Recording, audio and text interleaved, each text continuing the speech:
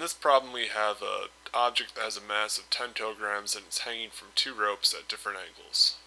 And we want to find what the tension in each of those ropes are. So if we just take 10 kilograms times the acceleration due to gravity of 9.8 meters per second per second, we get 98 newtons as the weight. So what we're going to do to solve for tension is, is we're going to break each of the tensions into x and y components, and then we're going to see how they all cancel out.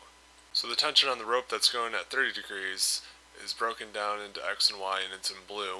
Tension of the 45 degree rope is broken down and it's in red. Then we have a green arrow for the weight of the object. Being that this is a statics problem, everything equals zero because there's no movement.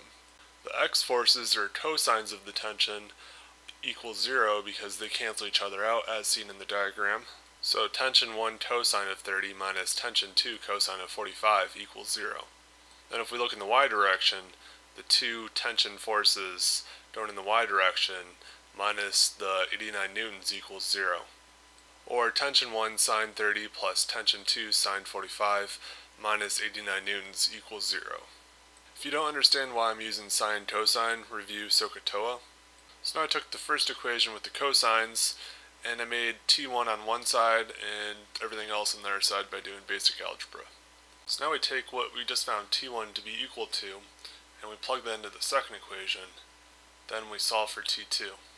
Should T2 to equal 87.86 newtons.